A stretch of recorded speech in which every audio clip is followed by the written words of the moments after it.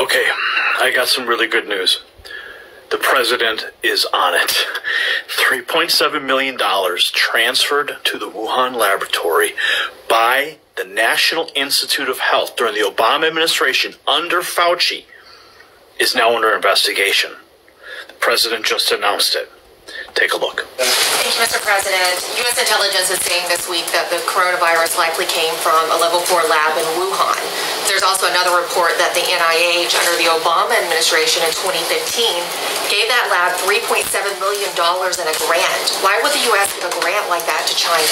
Uh, the Obama administration gave them a grant of 3.7 million. I've been hearing about that, uh, and we've instructed that if any grants are going to that uh, area, we're looking at it literally about an hour ago, and also early in the morning. Uh, we will end that grant very quickly, but it was granted quite a while ago. They were granted a substantial amount of money. Uh, we're going to look at it and take a look, but I understand it was a number of years ago, right? So you are When did you hear? When did you hear was the grant was made? 2015. 2015. Who was president then? I wonder. So this is huge, huge news. Now, if you don't know what I'm talking about, we have a video on the channel right now that is going mega viral. Okay, it's my interview with Dr. Buttar, and he talks about the 3.7 million dollars, what that money did, and how Fauci got around the Department of Homeland Security order to stop doing testing on coronaviruses in the United States. Listen to this. What I think you're talking about is uh, the moratorium that was placed, and then $3.7 million from the Nas- National Institute of Health was transferred to China so they could continue this research, even though the moratorium. So they basically outsourced this this research to China. Is this the same topic we're talking about here? This news this is just breaking.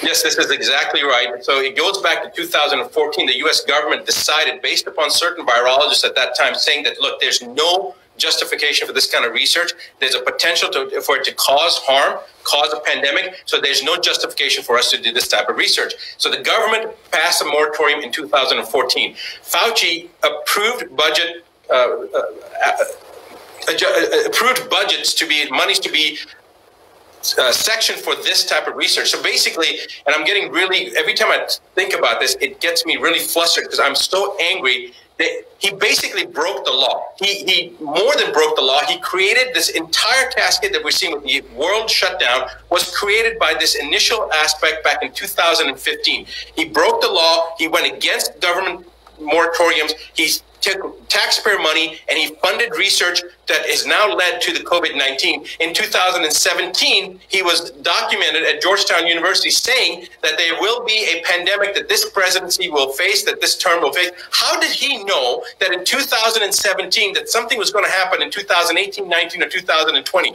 There's no, you can't predict the market from three days from today, what's going to happen. How did he know that there was going to be a pandemic? He stated the president of this this president will face a pandemic. The exact quotes. I, I don't want to say the exact words. You guys have the video footage. My point is that there is no question that there will be a challenge the coming administration in the arena of infectious diseases, both chronic infectious diseases in the sense of already ongoing disease, and we have certainly a large burden of that but also there will be a surprise outbreak. There will be a surprise outbreak. And there will be a surprise outbreak. When somebody starts making these type of statements, and then they were involved with the breaking of the law to fund the research that American taxpayers paid for, that then goes to Wuhan and now trying to create this diversion and say that it was China. That was just a clip of the larger 45 minute interview. I will link to it down below. You need to see the full interview for the full perspective. But the good news is, is that Congressman Matt Gaetz is also onto this. Okay, he went on Tucker Carlson and just took China to task and talked about the money that you are paying with your taxpayer dollars to fund the Chinese labs that are creating these pandemics. Listen to this. So at best, Americans are funding people who are lying to us, and at worst, we're funding people who we knew had problems handling pathogens, who then birthed a monster virus onto the world. Follow the money. and it leads right back to Fauci and then right back to the National Institute of Health underneath the Barack Obama administration, friends. Okay? There you have it. How do we get here? Maybe we should ask Barack Obama. Maybe we should put Fauci on trial and ask him what's going on. How did that money go through? You know, he actually he actually addressed the question about if the virus was man-made, and I'm going to show you the clip here. It, he was, you know, the guy's never lost for words, but he knows he's under the microscope right now because the president's about to investigate that money and where it went, how it got there, and now he's sweating bullets. Watch this clip. Ask um, Dr. Fauci, could you address these suggestions or concerns uh, that this virus was somehow man-made, possibly came out of a laboratory in China? You studied this virus. What are the prospects of that? There was a study uh, recently that we can make available to you where a, a group of highly qualified evolutionary virologists looked at the sequences there and the sequences in uh, bats as they evolve and the mutations that it took to get to the point where it is now is totally consistent with a jump of a species from an animal to a human. So, I mean, the, the paper will be available. I, I don't have the authors right now, but we can make that available too. So he's still maintaining that this thing was just jumping species, whatever he says. Um, but we know that there were studies on coronavirus that were done in the United States. If there's anybody that knows, it's Fauci. He knows exactly what that thing is. Okay? Because they were studying it here in the United States, and then they shipped it off to China when the DHS said stop. So I'm going to show you another clip here of Dr. Buttar again. And this time, he takes it to the next level. And I think he's he's saying what a lot of people are thinking right now. Listen. Is is Fauci directly responsible for this pandemic because he maneuvered the money, he he maneuvered around the moratorium, kept this chimeric research going in China. Is he is he directly responsible for not just the pandemic but also the response that's killed the economy, put what 17 to 22 million people out of work? Is is Fauci directly responsible? I'm going to say this. I think that there, I've seen some petitions going around. I know Dr. Shiva said that Fauci should be should be fired.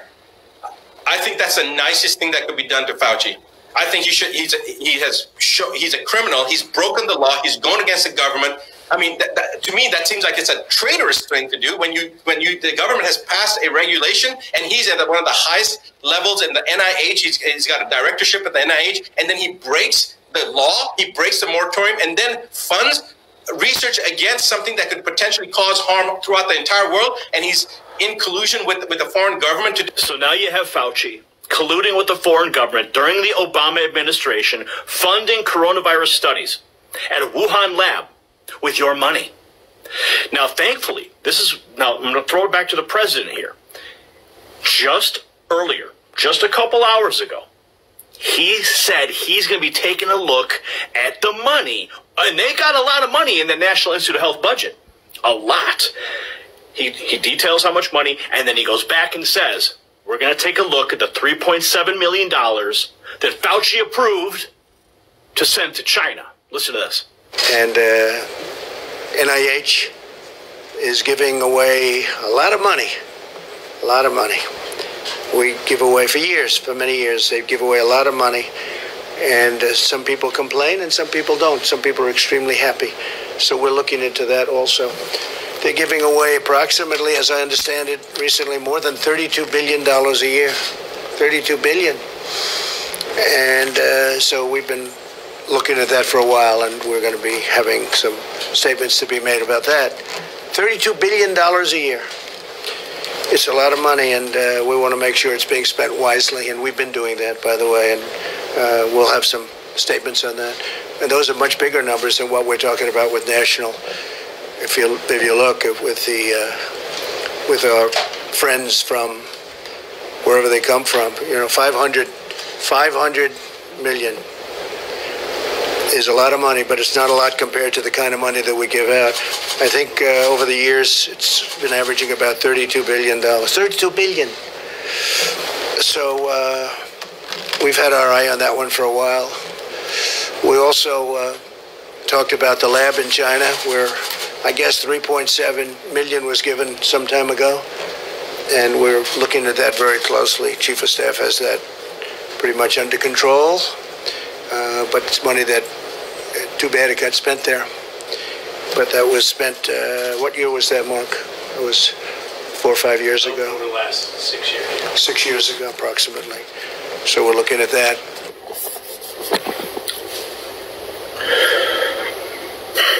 So I told you it's good news.